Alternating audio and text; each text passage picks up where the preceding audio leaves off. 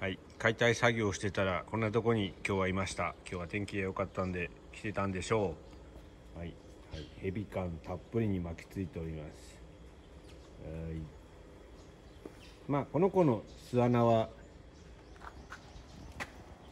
あの坂の途中今中心にあるあたりののところに横穴が開いてて多分そこにいるんでここは我が家みたいなもんでしょう、うん、もうネズミいないからねここに。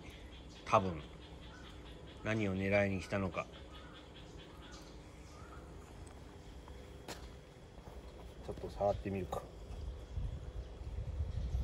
ねえニュニュ夜会はい。行っちゃいました。あー冷て。バイバイ